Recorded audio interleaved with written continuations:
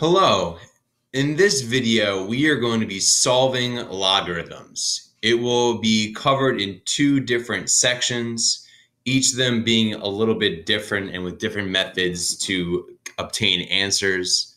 In the first section, we'll be talking about solving logarithms where there is either only one single logarithm or there is a one logarithm on both sides of the equal sign and they will be of the same base.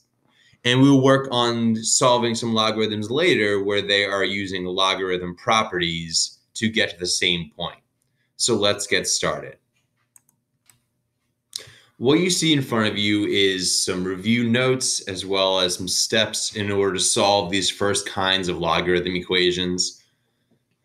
Remember that when you have a logarithm, the base is always the bottom number the power or exponent is usually what it's equal to. Logarithms are equal to exponents. And then the input or answer from that exponential form ends up in the answer part in which is usually in parentheses. So in these first examples, we're going to go to step one first, convert it right to exponential form, which we've practiced before. And then we are going to solve if there's like bases for x and get that exponent. In front of us, we see five different examples of this first type, all kind of similar sort of setup. So if we can start comparing these to each other and walk talking about these problems, we can look at number one first, log base 2 of 32 equals 3x. So all you have to do first is convert it to exponential form. 2 to the 3x equals 32 and then use what we already know about solving exponential equations. If we know 2 to the 3x equals 32, well, that means that we just need to get 2 as a common base. So now we have 2's in the bottom of both. 2 to the 5th is the same thing as 32. And then since the bases are the same, that means 3x and 5 are the same. And we have our answer, which is right here.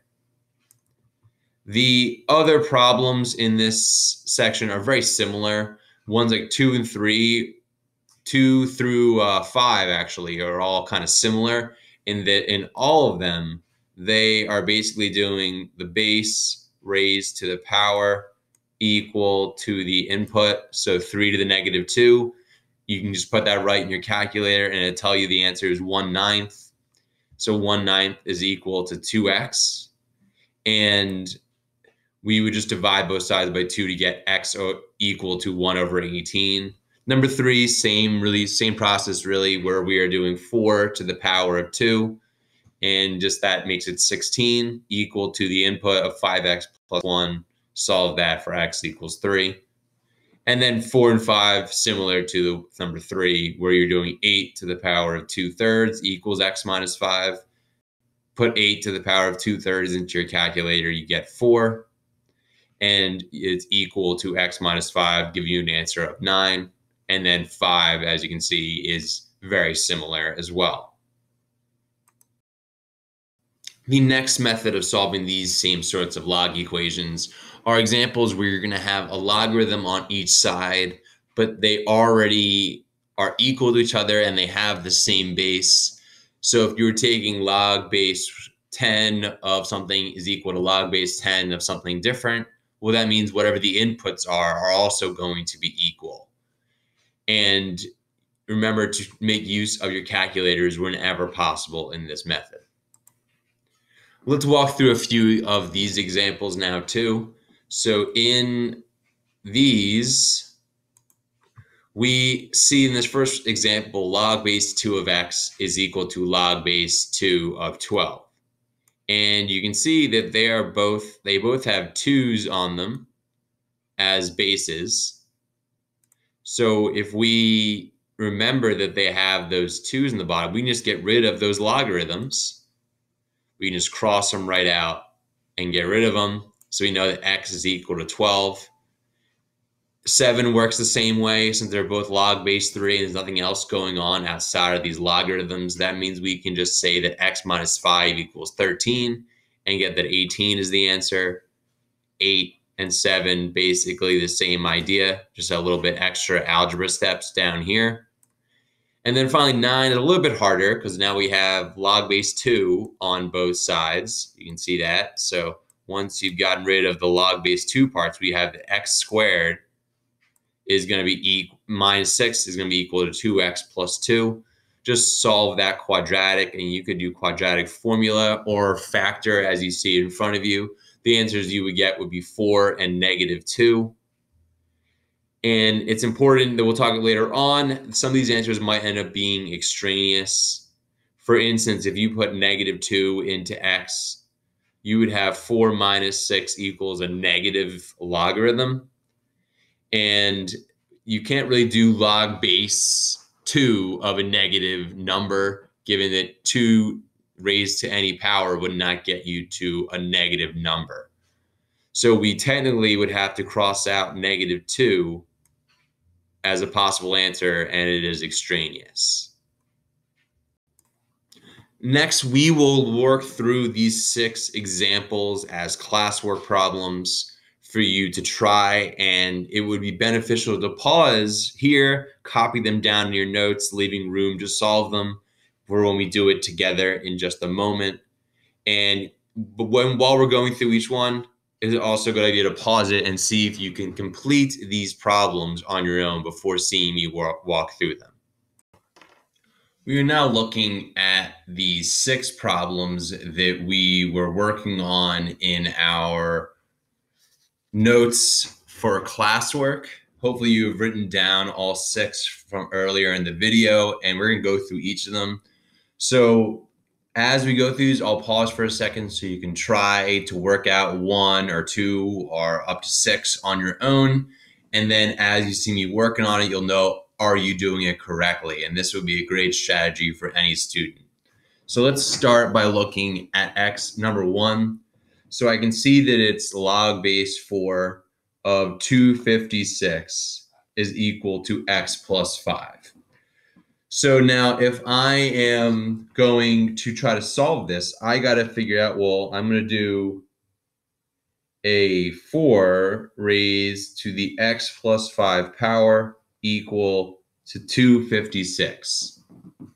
So then I'll write that right underneath. 4 to the x plus 5 equals 256. And I just need to solve that exponential equation just like I have solved before. So I would write 256 as 4 to the fourth power equals to what I had already on the left side, 4 to the x plus 5. And then the two fours would be able to get kind of crossed out. And that would leave me with x plus 5 equaling 4 which means the answer here is x equals negative 1. Now I'm going to move on to number 2. So try to work out number 2, get an answer for x, see if it compares to what I'm about to go over.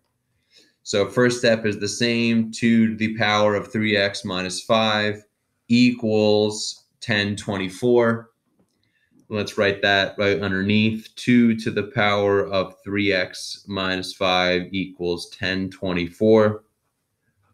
You might need to use a calculator, but it turns out that if you do 10, 2 to the 10th power, that is equal to 1024.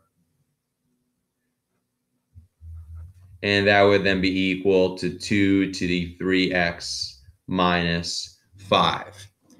So now if you are trying to solve it from here, we just know we know now that 2 and 2 can get crossed out and we know that 3x minus 5 is going to be equal to 10. And if you use some solving equations, you would find that x would have to be equal to 5 once you've added 5 and divided by 3. So those are both pretty similar to each other and Number three and four are a little different because we're going to have exponential parts that don't have x's in them, so they'll be a little easier than the first two. So let's look at three and four now. So we have number three. So now pause the video, take a second to think about number three, try to solve it for x.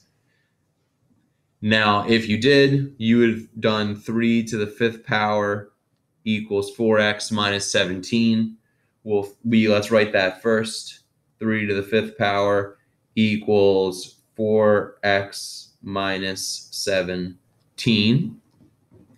Now, 3 to the fifth power, if you put that in your calculator, equals 243. The right side didn't change at all. And then you can just solve equations there, and you would get 260 equals to 4x. And that turns out that 65 is going to be equal to x.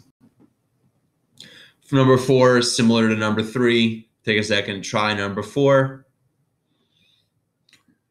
So the first step would be the same, 5 to the fifth power equals 3 minus x. So let's write that, 5 to the fifth power equals 3 minus x. 5 to the fifth power equals 3,125. And that equals 3 minus x.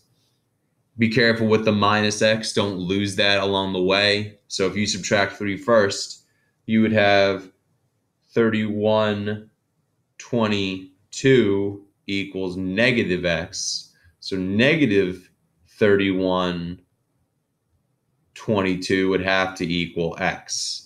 Very important step there. You can't have 3 minus 31 22 in that logarithm. So we want to make sure that we didn't remember that last step.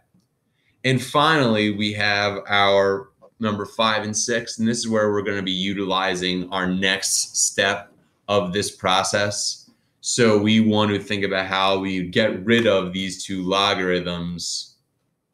And if we know on the left side here both of these are base 13, well, that means we can just kind of cross out the two log base 13s and know that x squared, this part in here, is going to be equal to the 3x. So we have x squared minus 4 equals 3x. Well, we got a quadratic equation to solve. First step of solving any quadratic equation, no matter what the problem is, would be setting it equal to zero first. And so we would just be subtracting that 3x from both sides. And we would get x squared minus 3x minus 4 equal to 0.